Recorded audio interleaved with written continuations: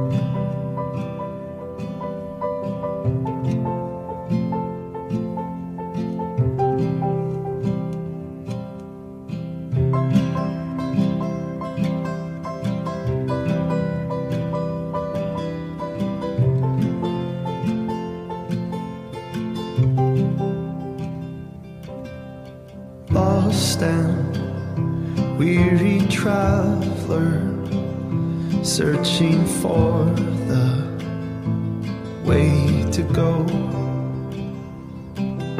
Stranger, heavy hearted, longing for some